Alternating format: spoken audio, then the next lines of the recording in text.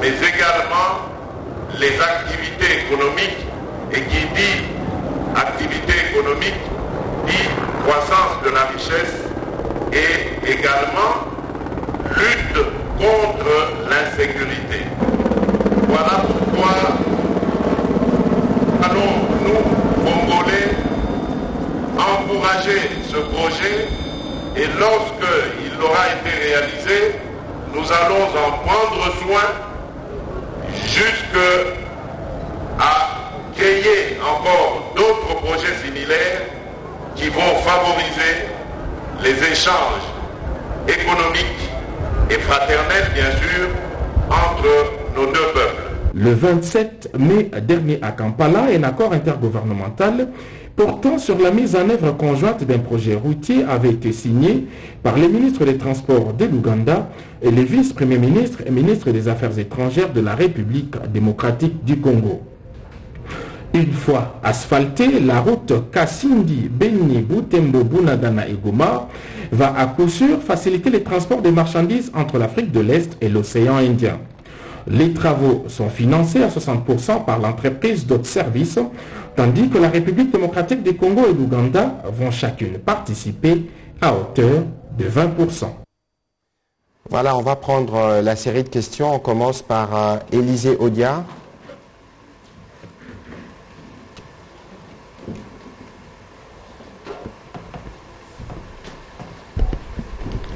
Ok. Euh, je ne sais pas.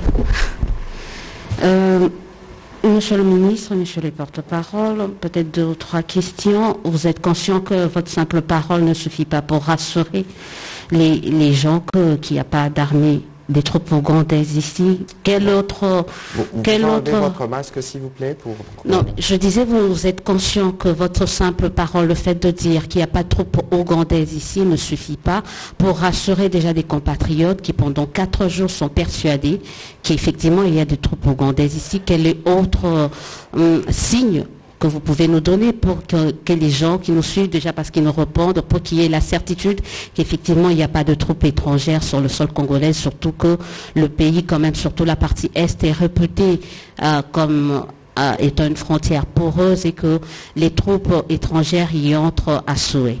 Et autre chose, euh, par rapport toujours à l'Ouganda, où est-ce qu'on en est avec le mécanisme de hum, réparation? Puisqu'on en parle, c'est vrai, vous venez de projeter ce projet, mais c'est que la population attend, c'est la réparation, parce qu'il y a eu quand même une décision de la justice, où est-ce qu'on en est avec cette décision, avec euh, la surséance quand même de l'application de cette décision? Et enfin, je voulais revenir sur euh, rapidement l'affaire euh, Congo Hold Up. Il y en a quand même 50 nuances de Congo Hold Up. On a parlé avec Egal, avec la avec BG Bank, mais également Congo DAP, avec la CENI, avec le péage. Là, par rapport à BG Bank et euh, vous aviez dit qu'il y a eu une décision. Euh, il y a eu une instruction du gouvernement, mais qu'en est-il euh, d'autres nuances de Congo Hold Up Est-ce que le gouvernement s'en est déjà saisi? Merci Madame Élisée Odia. Votre simple parole ne suffit pas pour assurer, c'est justement la dangerosité dans, dans laquelle nous vivons.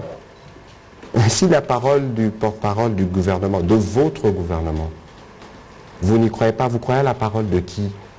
Parce que les médias ou les officines qui annoncent ces nouvelles, sont-elles plus crédibles que nous ou sont-ils, eux, plus préoccupés que nous à ramener la paix dans notre pays Votre pays? Mais c'est pour ça que nous faisons justement cet échange. Et c'est pour ça que moi, je suis... Euh, euh, même, je ne suis pas surpris, mais je suis... Euh, quelque peu dessus de voir que parfois nous disons des choses qui ne sont pas suivies ni entendues.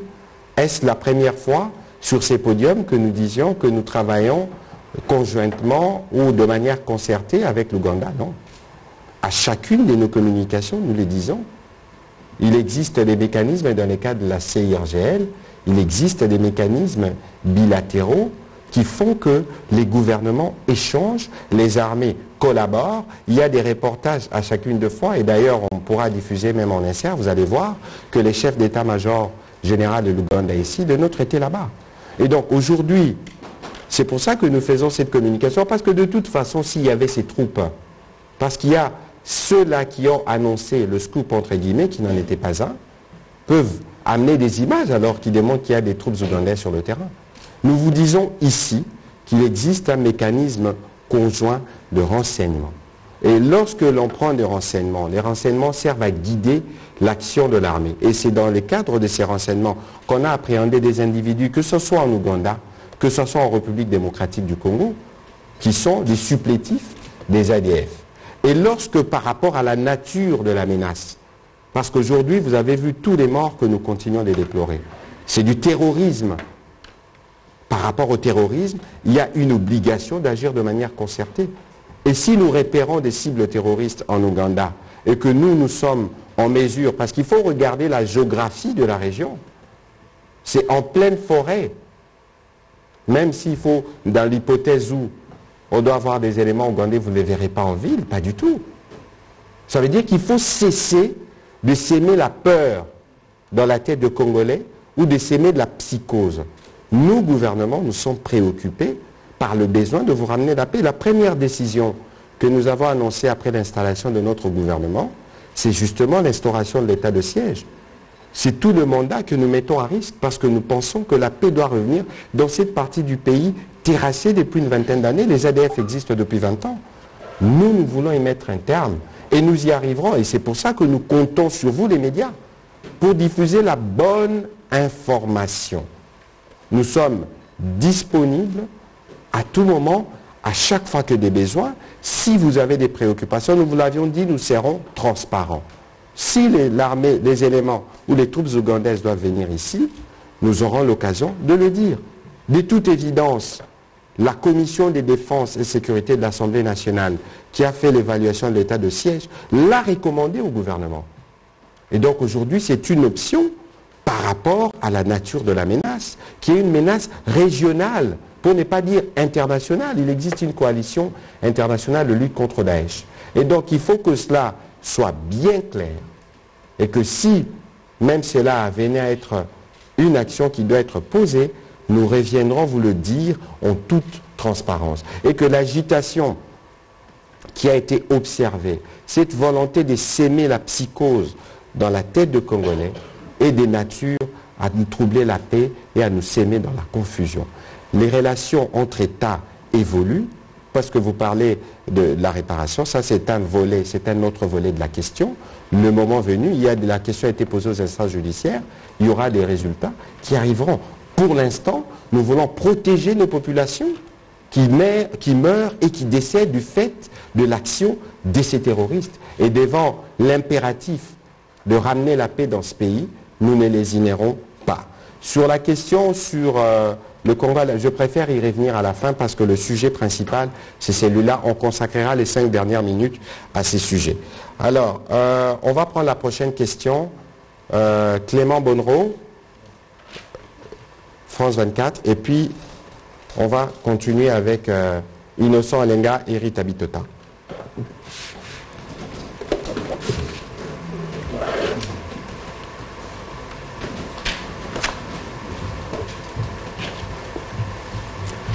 Bonjour Monsieur le Ministre, bonjour Messieurs les porte-paroles. Vous pouvez juste enlever votre masque s'il vous plaît. Donc on a bien compris qu'il s'agit d'une éventualité.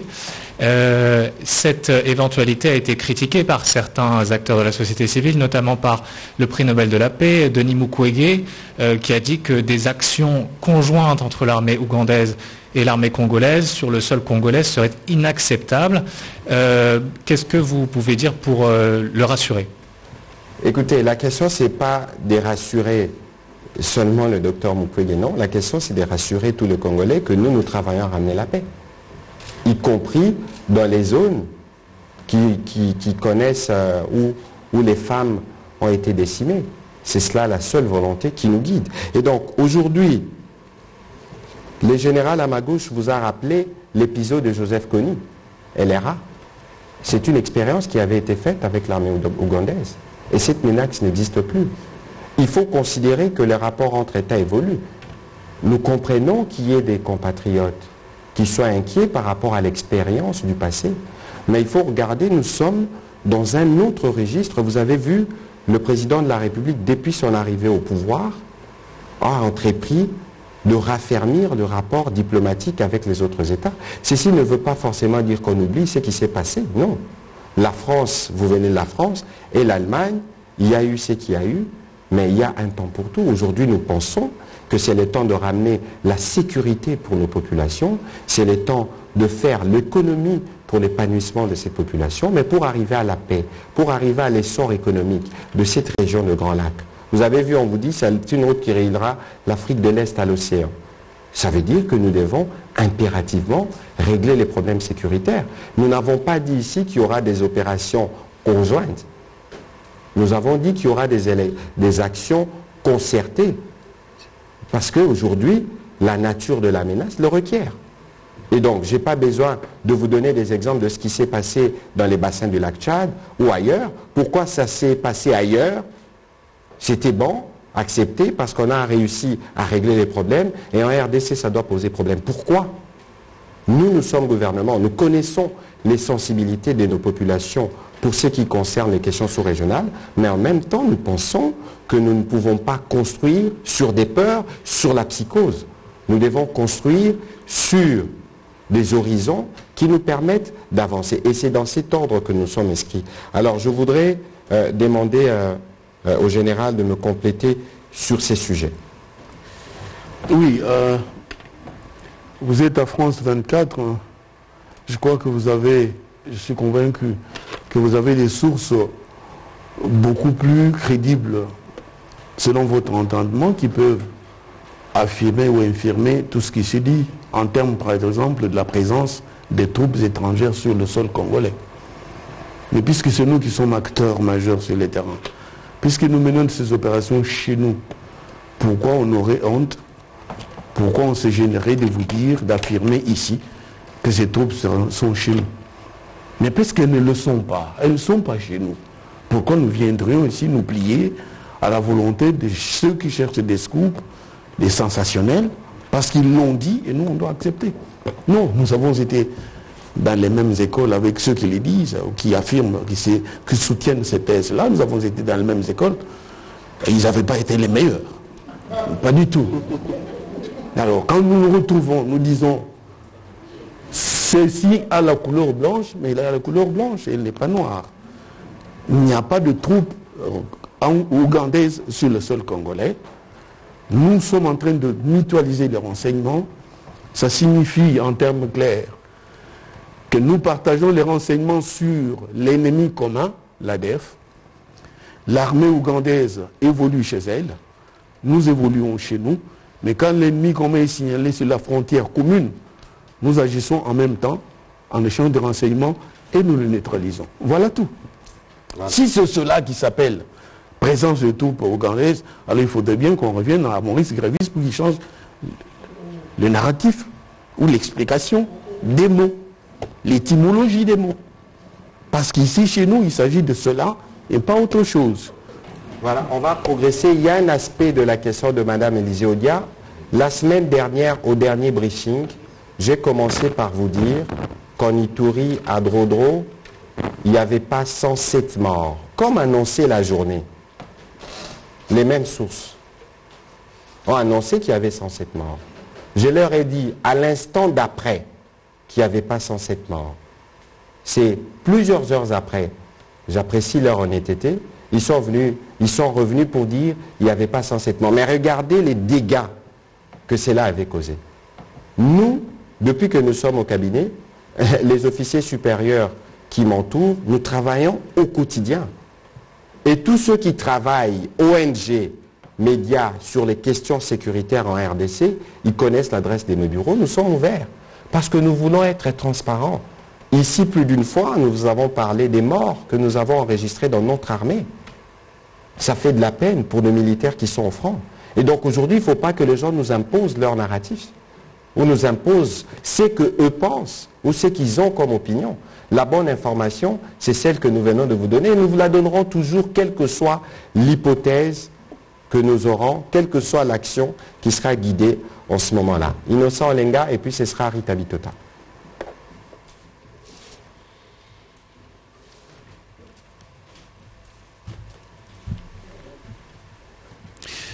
Merci beaucoup pour la parole, Excellence. J'ai deux questions pour euh, le général. Mon général, ça fait plus de dix ans qu'on nous parle d'une guerre asymétrique que mènent les ADEF. En dix ans, les FRDC sont-elles toujours incapables de s'adapter à cette asymétrie? C'est la question. Dans ces pays, chaque coin de, la République avait une formation militaire spécifique. Kassapa formait les gendarmes, Kotako lui formait les commandos, Banzangou, Banzangou plutôt les blindés, à Kananga, au camp Bobozo, on avait les faux, les téters et les vzadem. Donc c'était des formations spécifiques. Est-il difficile pour l'armée de former des unités sur l'antiterrorisme? La dernière question, à Nituri, il y a eu l'opération dite Atermis menée par les militaires français. C'était pour faire taire les, milices Emma et Lendu qui endayaient cette contrée. La reddition de l'exploit n'est-il pas possible face à la Codeco qui fait la même chose? Merci. Merci. Allez-y. Merci, Excellence. La guerre asymétrique menée par les ADF contre nous depuis plus de dix ans est-ce que nous sommes incapables de nous adapter? Je vous dis tout de suite, nous sommes plus que capables de nous adapter. La preuve, à l'époque, l'ADEF comptait 750 km d'espace contrôlé, occupé. Depuis 2014, nous y avons mené des opérations en nous adaptant à son mode, excusez-moi de me répéter, à son modus operandi. Nous l'avons suivi là où il croyait être le plus fort. Nous l'avons défait. Je répète toujours, les QG les plus importants, les places fortes, toutes les places fortes de l'ADEF, nous les avons récupérées, contrôlées.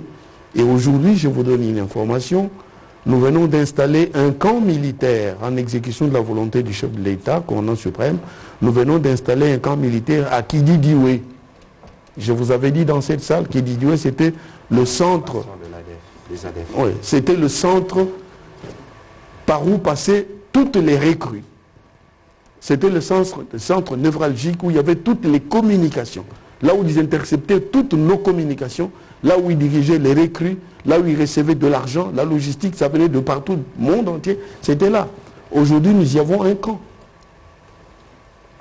Et ce camp n'a pas été installé là-bas parce que nous ne sommes pas adaptés à la guerre asymétrique. Nous, au contraire, nous nous sommes adaptés et nous avons même eu de l'ascendance sur l'ADEF dans ce mode opératoire asymétrique. Au point que Madina, Mwalika, Kididiwe, Totolito, Talia, Semouliki, jusqu'à la frontière, donc à Nobili, nos hommes ont pris l'ascendance, ont occupé, contrôlé. Nous sommes capables. L'autre jour, ici dans la salle, si Son Excellence le permet, je vous avais dit qu'au niveau des études du Collège de hautes études de stratégie de défense, il y a des gens qui ont fait des études sur beaucoup de sujets, y compris la veille et l'anticipation, par exemple, le général Itumba à l'époque.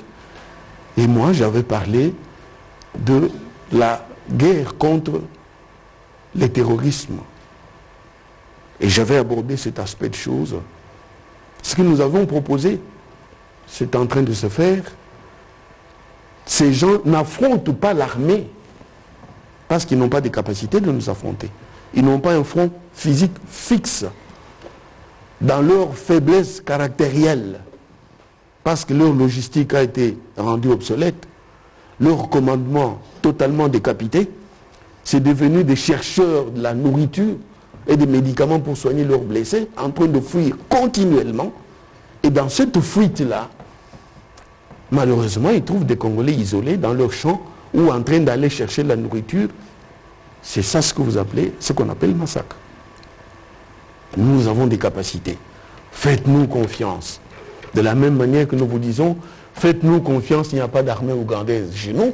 De la même manière, nous vous disons, faites-nous confiance, nous menons des opérations en capacité opérationnelle requise, parce que nous en avons des aptitudes.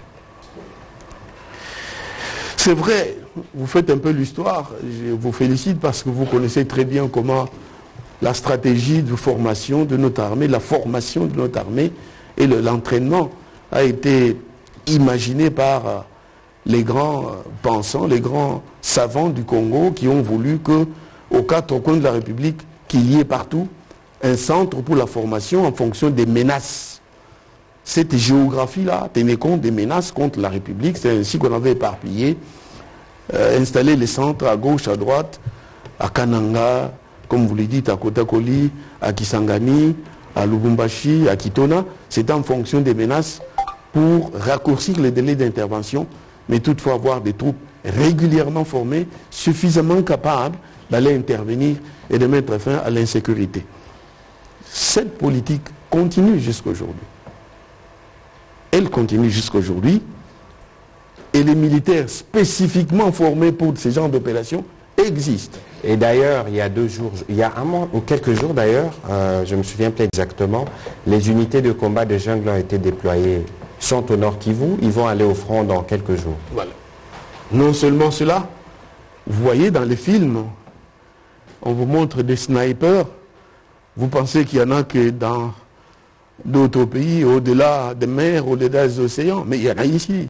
C'est grâce à ces gens-là que nous sommes allés dans la forêt de Madina, où ces gens, ces criminels, assoiffés de sang, étaient en train de tuer des gens.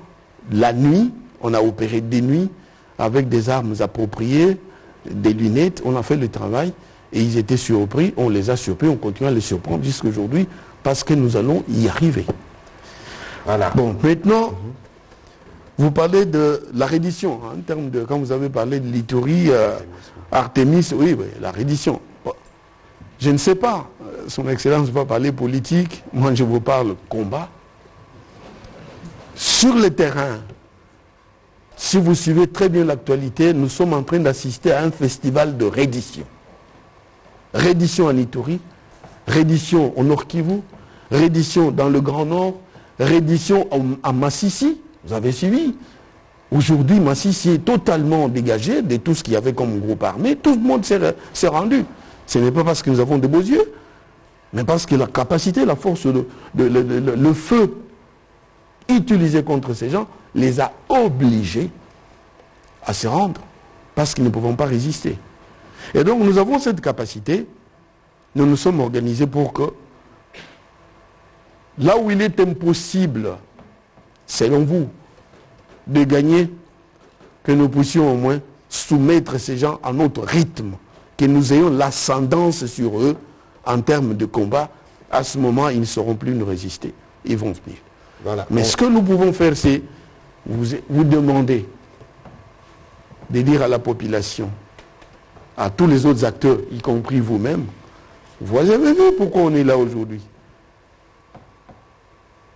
Des troupes ougandaises ou quoi. Ah, la prière est dite. Non, c'est pas vrai. Cela, c'est ce qui, dès que c'est reporté ou rapporté par tout le monde, crée, comme l'a dit notre ministre, la psychose. Il faut arrêter cela. La vérité, elle est connue. Nous gagnons, il y a aussi des revers. On est militaire. Mais quand nous gagnons, on vous le dit. Mais quand nous n'avons pas gagné, on vous le dit aussi. Mais ne nous faites pas gober ce que les autres veulent que vous entendiez. Parce qu'on dit, quand vous ne communiquez pas sur vous-même, il y a d'autres qui vont communiquer à leur manière sur vous, mais de manière dont ça va vous plaire.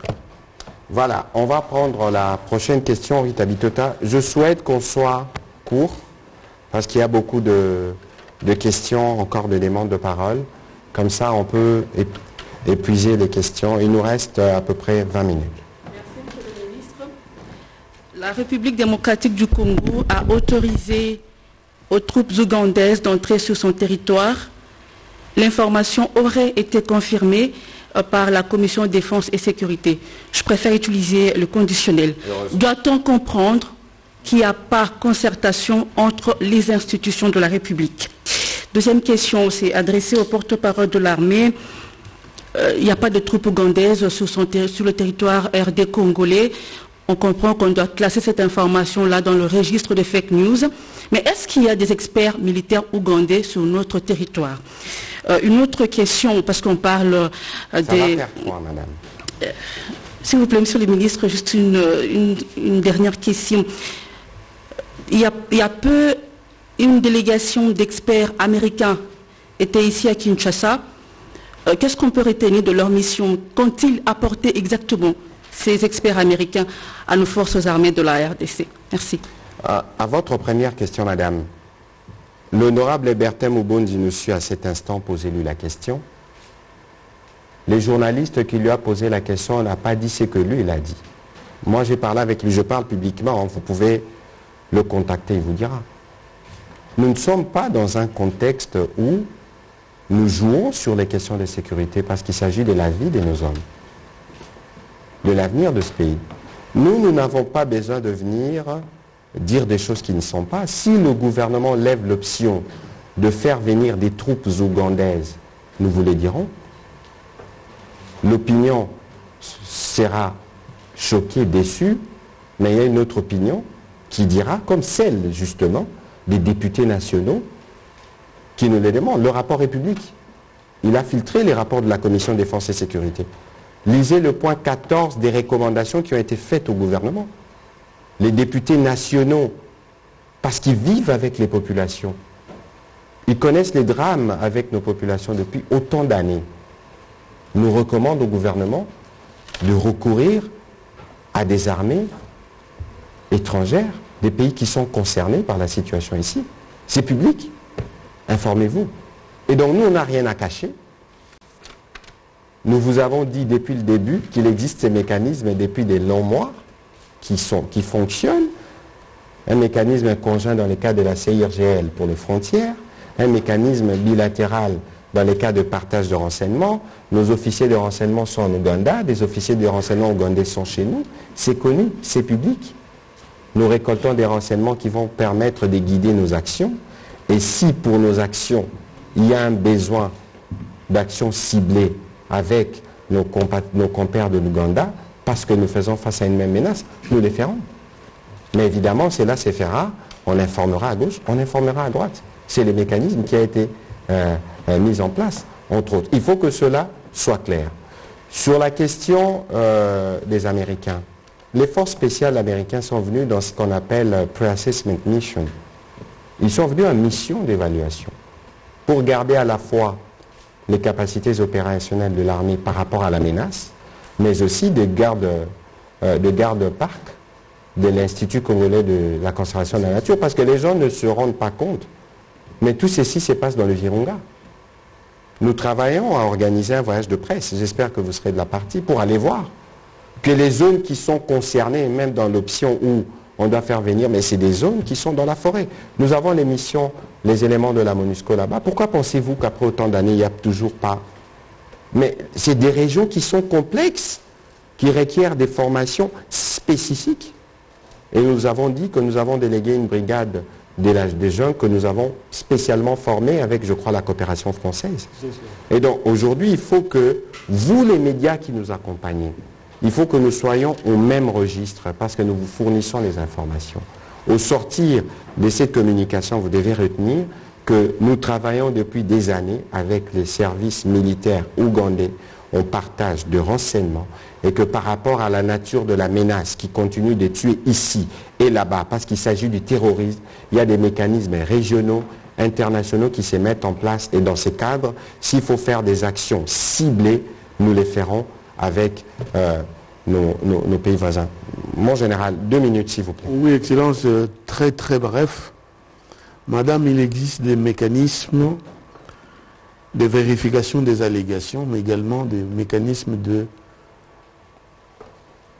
partage de renseignements pour éviter, pour éviter justement que l'on se dise, on nous cache, on se cache mutuellement des choses. à ce niveau-là, ce mécanisme contienne dans leur rang aussi bien les Congolais que les Ougandais. Et donc nous travaillons ensemble en termes d'équipe de renseignement pour exploiter les terrains et vous localiser la menace avant de devoir planifier des opérations ciblées pour les neutraliser. Voilà, on montre la visite euh, du chef de l'armée ougandaise. Voilà. Si vous vous souvenez, en 2014, un instant, et le ministre est en train de vous parler de quelque chose de très important. Vous vous souvenez, en 2014, vous voyez bien, nous avons mené des opérations pour aller jusqu'à Madina et quand nous y sommes allés, nous avons reçu la visite du chef d'état-major général de l'époque, Kayumba Wamala, qui est venu avec nous à Madina. Ça, c'est Luna. Vous entendez parler de Luna, pour ceux qui n'ont jamais été là-bas, c'est là. Et le général Kayumba est venu nous rendre visite à Madina. Vous voyez, ces matériaux-là, c'est ce qu'on utilise pour fabriquer des bombes artisanales. Et il est venu passer nuit avec nous à Madina, preuve, s'il faudrait le dire encore, preuve qu'il y avait un travail très sérieux qui a été effectué par votre armée. Nous avons sécurisé tous les secteurs, nous avons conquis de hautes luttes le cantonnement ou la place forte ou le quartier général de l'ADEF à Madina et nous y avons passé deux nuits. Nous avons amené la presse nationale et internationale. Beaucoup parmi vous, ils ne peuvent pas me regarder deux fois parce qu'ils avaient été invités à l'aéroport, ils n'y sont jamais arrivés. nous sommes allés là-bas, oui, je peux donner la liste, elle existe. Nous sommes allés là-bas, nous avons passé nuit là-bas et nous sommes revenus. À ce moment-là, nous avions le partage de renseignements. Il est venu s'assurer que ce qu'on se disait ensemble tous les temps, était-il vrai ou faux Il est venu voir, il a passé nuit avec nous à Madina, il est reparti le lendemain. Voilà, donc on va prendre, euh, je suis désolé, on va prendre euh, euh, cinq dernières questions, mais je vais demander à Laurette, Paul, Réma, euh, Tité et mon confrère euh, dont j'oublie le nom, excusez-moi. Vous pouvez venir sur les micros et poser vos questions, une question par personne. Comme ça, on enregistre, on répondra une fois pour toutes. Richard Chac aussi, finalement.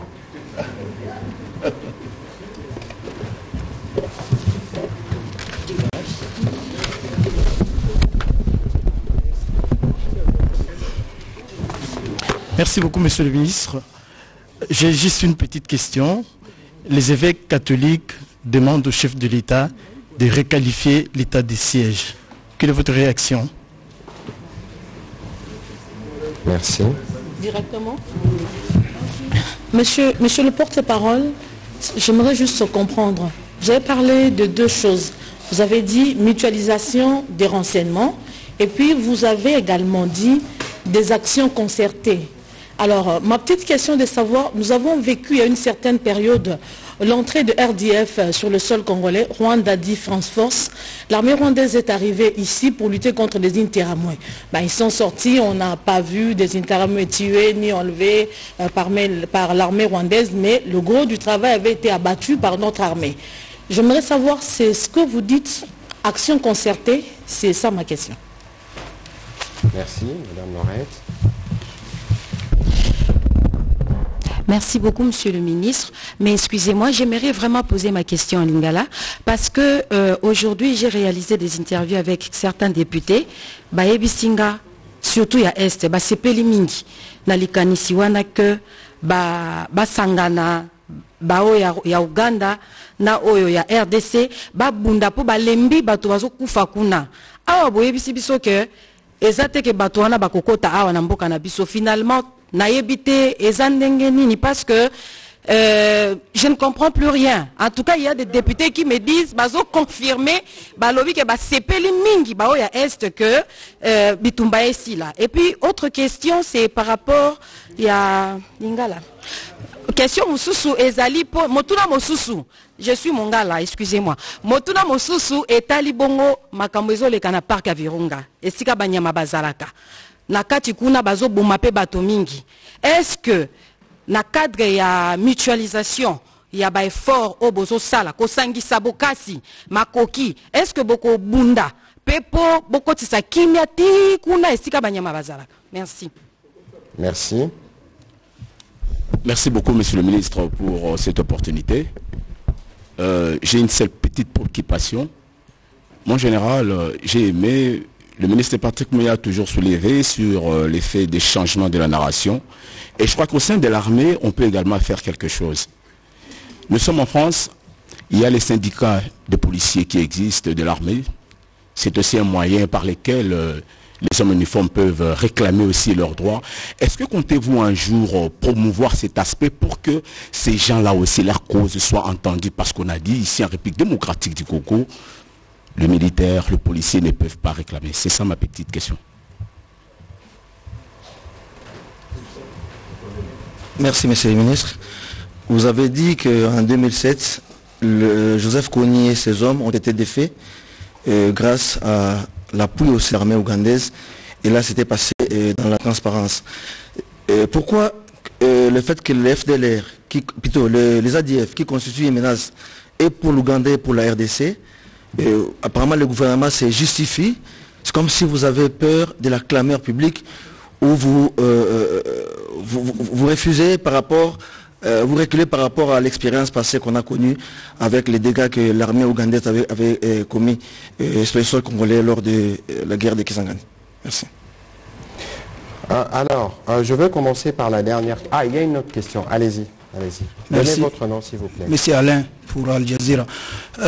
Monsieur le ministre, est-ce que le président de la République a oui ou non informé les Nations Unies? Parce que vous fustigez les scoops de nos confrères, bien sûr, mais les Nations Unies n'ont pas démenti l'information. Est-ce que la RDC a officiellement, oui ou non, informé les Nations Unies de l'arrivée des Ougandais euh, sur le sol congolais? Je commence par la, par la dernière question. Après, je ne sais pas comment nous devons parler pour que vous puissiez nous croire. Lorsque nous vous disons qu'il existe un mécanisme, un mécanisme conjoint, plusieurs mécanismes qui nous relient avec nos frères de l'Ouganda. Aujourd'hui, nous faisons face à une menace conjointe, commune, qui s'appelle EDF. Ils frappent chez nous, ils frappent chez eux. C'est chez nous qu'ils ont leur base. Nous, nous faisons les renseignements. Ça concerne aussi la question de Madame Laurette. Nous échangeons des renseignements avec eux. Mais pourquoi on échange de renseignements? Pour avoir des actions guidées sur le terrain. Et aujourd'hui, par rapport à la nature de la menace qui s'accroît, nos armées envisagent ce que nous on appelle des actions ciblées. Les actions ciblées, ça veut dire, les terroristes sont où? On a, ils bougent, le général l'a dit. Si on le repère dans la partie ougandaise, et que les Ougandais peuvent intervenir, ou d'où plus rapidement on peut intervenir, on informe la partie ougandaise, on intervient. C'est clair. Ça veut dire qu'aujourd'hui, les processus qui nous relient dans le cas du mécanisme des renseignements va monter d'un cran. On échange des informations dès qu'on repère la menace parce qu'ils sont flottants. On dit à nos amis de l'armée ougandaise, nous avons référé là-bas dans telle partie, nous les poursuivons. Il faut savoir qu'on va mutualiser les informations, on va mutualiser les actions ciblées en fonction des menaces telles que repérées, telles qu'identifiées. Ici, on ne dit pas, parce qu'il y a de l'expérience, euh, je crois que c'est l'expérience malheureuse de 2000, où il y a eu des combats là-bas, mais ici, c'est des choses qui sont structurées, qui sont organisées. Et la MONUSCO qui est ici est au courant de la collaboration qui existe entre nos armées. Donc il faut que les choses soient claires. Et même alors, le moment venu, si nous décidons d'une action ciblée, nous viendrons en parler, parce que si on n'en parle pas, d'autres en parleront. Mais quand ils en parleront, ils en parleront dans quel objectif et de quelle manière? C'est pour ça que nous avons fait le choix de la transparence. Nos compatriotes, Ginota Bolobi Maramba, ma député, ma député, il y a Béni. Bangonde basali biso gouvernement recommandation. Tout travailler na ba armée ougandaise principalement pour na kobundisa ba ADF o baza ba terroriste ba uta Uganda. Biso gouvernement to travaillera déjà na baugandais na basoda ya uganda lelo baterroriste bakotaka gauche babimi droite bazalaka na place moko te oyo bavandi yango biso toconvenir na cadre ya bacollaboration ndenge ezalaka. Tolobi ya tour oyo okangi ye na rdc oinforme moninga na yo ofrappe il faut ezala clair parce que lelo soki tolingi tosilisa terrorisme kuna. Na baugandais na biso il faut tozala elongo. Nde bongo mpe bazobundisa boko haram na région ya lac tchad. Nigeria tchad cameroun bapays oyo nyonso baza touché par cette menace commune bazosangana mpo babunda biso mpe tozwi tosangana na baugandais kosangana toro nde koya mwa makasi.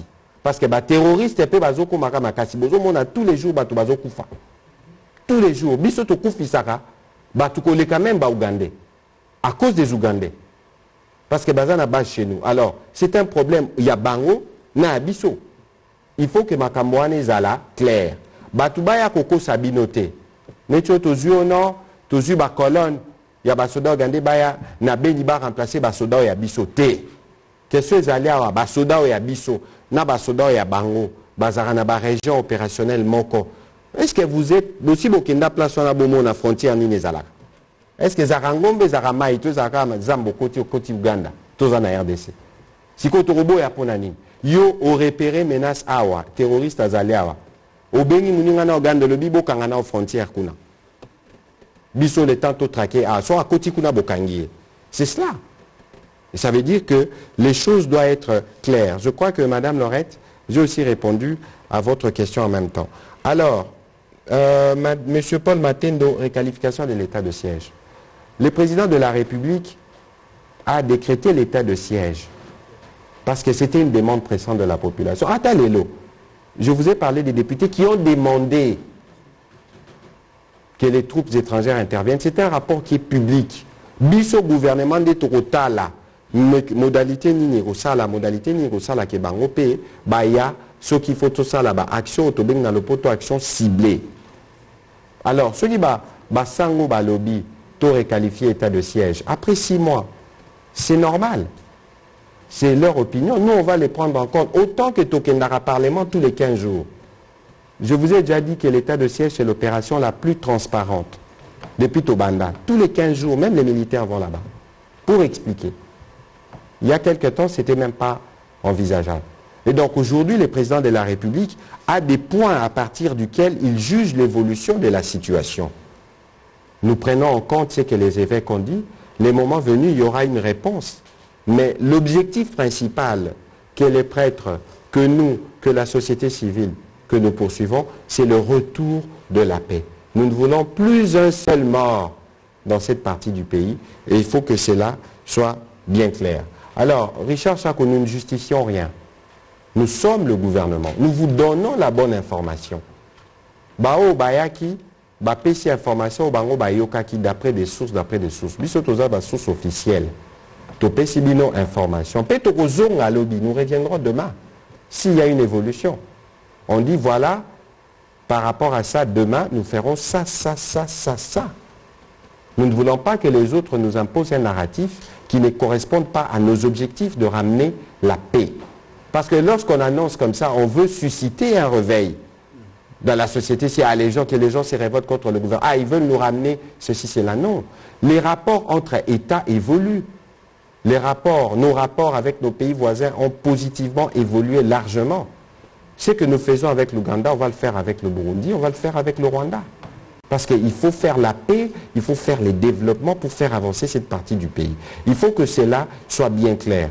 Pour la paix dans la partie Est, le président de la République l'a déjà dit et redit, nous ferons tout ce qui est en notre pouvoir pour y arriver. Mon général, euh, quelques minutes, et puis je veux passer la parole au porte-parole de la police. Et puis on va conclure. Merci Excellence. namoni kobatela banyama eza na baparke mais excellence ayebi soki bino awa te alobi bamboka nyonso ezalaki azala bitumba ezalaki tosi tolongi monguna kuna todomine ye aza na makasi tobundane na ville te mpo atelemi esika moko te tobunda na ye boye. Ye elongo biso elongo tobunda na ye azokoka biso te azali kokima partout. Bomba na zamba dans une forêt touffue et dense. Bana na bango ndambo mosusu babotama na kati kuna bakola kuna baza na vie kaka ya bato ya zamba ya forêt. Nde bayebi esika kobimela esika kokotela etango tozo kotambola mpona kodebuske bango na kati nde bisika okomona moto azoki to likama lizwi biso. Me na mosala oyo ya biso bitumba oyo tozobunda lelo ezali epai wapi mais ezali justement mpona nettoyer parc national de virunga. Parce que nde kote kuna bake kobombana bakimi ville soki oyoki ndeko na biso moko awei elingi koloba abimaki ake bilanga na ye na kati ya park ake koluka to kafe na ye ake koluka to kakao na ye. To babiloko mosusu ou bien biloko ya bilanga na ye akamata azonga nango andeoro ya kafe na kakao à ce moment là banyangala kata wana banyangundu ndenge tolobaka na mosala ya soda bake kobomba na kati wana bamoni ye isole bazokisi ye to babomi ye. Ndenge na bango lolenge ya bango kolakisaki bazali na makasi nde ya kolanda bato isole papa mama mwana ya mwasi mwana ya mobali bakende kosala babiloko bazosala wana. Me na nzela ya ville botangela ngai agglomération moko ya monene oyo boyebi oyo bozoyoka babomi bato baenleve bato bakie kuna ezali te me tozolanda bango ntina kati ya zamba wana. N'y a pas 4 jours toke libere baotage na ituri ndenge moko tozali kosala kala. Na beni esika bakoki kotia lisusu makolo te. Bakima kokima mpo frappe kuna ya age na bango lisusu te. Ewi na kote oyo tozolanda bango mpe tokosukisa kaka kosilisa bango na parc national virunga mpo bazali kokende kuna 1 oza na raison mama banyama. Ezali lokola ekonomi ya mboka. Esika bote ya basoda ezali kosala makelele moyen bainvestisseur baya kotia mbongo na bango kotonga bakompagnie ya sika bazopesa bato mosala. Ezali ndenge moko na banyama na zamba na parc. So bayoki makelele mingi bakimi bake epai mosusu. Moyen ya koorganize na euh, comment on dit euh, tourisme mpo ebota. Franga ekota na kese ya leta ekozala te donc kati ya parc wana toforme les écogarde éco, éco bato wana bazali kosala mosala elongo na biso. Bazali kobatela banyama bazali koprotege baair comme on dit excusez la tautologie les aires protégées. Bazali yango dans l'entretemps mosala veille anticipation. Ezali bango bamonoko bayokaka. Mpe komona koyoka wana bapartage na biso esalisi biso kolokalize kolone ya banyangudu esika kobeta bango mpe kosilisa bango libela. Ndeko mama alobaki likambo ya mutualisation mpe action concertée mutualisation tokaboli renseignement action concertée toyokani ke frontière yango oyo bino boyei epai na bino biso tozei epai na biso. Monguna wana azali kokima. Akimi epai na biso koyei epai na bino. Botelema le long la frontière. Ntango biso tozo kobriske ye kote oyo aleki na bino c'est ça l'action concertée c'est cela mama ebokeseni mosusu c'est clair et net. Bato wana. So tobeti bango epai na biso bakimi na bango na uganda baki kosala mabe na biso na toyokani bino ngambo na bino biso ngambo na biso toza kotala likolo baservice de renseignement na mabele bamécanisme ndenge mokonzi alobi awa tozali kotala. Oyo tomoni tosignale mm, mouvement suspect esika boye. Frappe esika wana tobete tokobeta mpe ekosila. Bondimela biso. Merci. Merci de la police oui. quelques mots pour terminer. Oui oui. Euh, excellence lobi nazalaki na motema pasi mpenza. Nazotambola motuka na ngai nayoki français moko na mama moko aza respectable. Batuni atuni motuna alobi bongo état de siège ye moko agangi kuna na radio wana ah, c'est un fiasco. Nakoza komona yawa nayebi te soki osalaki nayoki motema ma motema nyonso makili etamboli fiasco mais ça signifie quoi? Soki biso moko bana ya mboka toza na confiance te na kobimisaka bavocabulaire oyo ya monene mpenza. Fiasco c'est-à-dire eloko eza lisusu te. Otali? Ndenge oyo bakosenga te? Parce que nous ne sommes pas nous-mêmes rassurés de ce que nous voulons bien partager comme information. Excellence, etumba wana ezali etumba oyo eza classique te ndenge général auti koloba ezali bastion fixe ezali te parce babeti bango batamboli mbango na kati na zamba na esobe mais sikoyo mpo bango bakokolia soki azalaki makaka akomata likolo ya nzete mpona kozwa mbuma. Mais sikoyo kolia na ye ezali na zamba na esika baloni kakao esika baloni esika site minier ya mine ezali. Nde yango basalaka makasi nyonso mpona kozwa bacentre de négoce bazala koboma bato. Esika bourbi ezali bango bakozala wana excellence. Bango baza koatake armé te. Baza koatake population. Oso omoni bato bazolonga etumba bakenda kobomaka population. Une armée qui monte en puissance va commencer à s'attaquer à la population. Et nous sommes des journalistes nous ne pensons pas ça. Okoboma motu soki oza na kanda c'est-à-dire lokola ebebi nabomaka kawa c'est-à-dire s'ils étaient en train de monter en puissance ils allaient s'attaquer aux positions de fausses armées. Mais comme ils s'attaquent aux paisibles citoyens c'est-à-dire ils sont en perte de vitesse. C'est la première des et de deux nous pensons que mpona kimia ezala balobi bakoti oui biso tolobi ke bakoti te bino bolobi ke bakoti ata mwa dessin ya yo oza so kotuna biso awa mais pesa biso baimage batroupe ma bakoti wana omoni oza na preuve te motuna yo? Ebulungani sikoyo oza kotuna baréponse awa Il est, il, est, il, est, il est 20 heures. euh, on, on va conclure euh, cet exercice. Nous vous reviendrons évidemment euh, avec des éléments parce que c'est un dossier qui évolue. Ce qu'il faut retenir ce soir, c'est qu'il n'y a pas de troupes ougandaises en République démocratique du Congo. Il y a un mécanisme conjoint de partage de renseignements.